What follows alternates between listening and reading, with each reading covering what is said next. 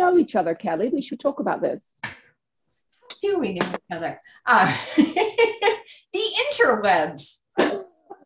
I Zoom. I, yeah, Zoom. Zoom has been for something I did not know existed two years ago. It has been one of the most, I think, my favorite app because I've met such cool people. Uh, the fact that, I mean, it's horrible what we have been through collectively over the past two years a bit. Horrible. Yes.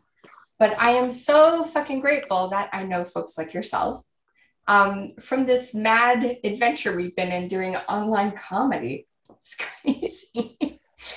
Considering two years ago, not only did I know what Zoom was, I know where they are because they're just down the road from me in San Jose.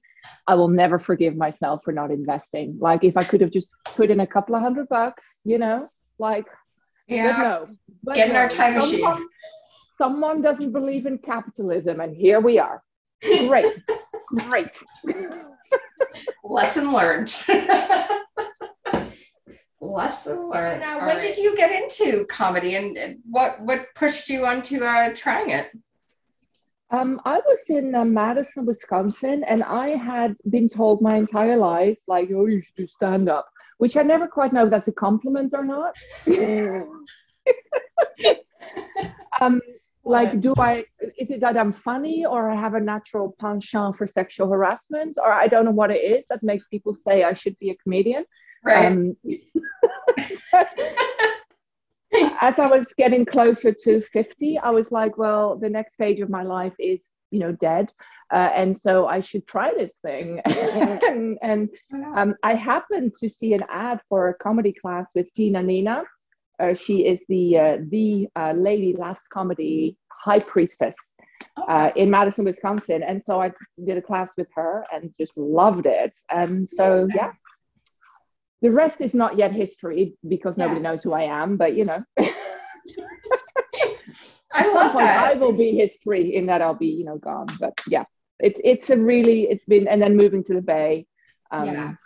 has I mean moving to the Bay coincided with the pandemic, and so I don't know whether it's it's I mean Zoom comedy, as you say, really opened up so many avenues for us. Oh my god. and it made it it made me a better comedian because when you're on zoom you don't have your personality or audience interaction to carry you through you have to have good jokes it's it, that's very very very true. Yeah it's um it's been such a great like community college kind of experience you know? it's been weird and wonderful and i'm most most grateful to it. I really Yeah. really am. Yeah. And then we get to hang out and bake together. I know i just it- this is the most exciting thing ever and i feel like i'm you know i had to stop watching the great british bake off because it just made me hungry all the time. But it is is a great show. It's such a good show.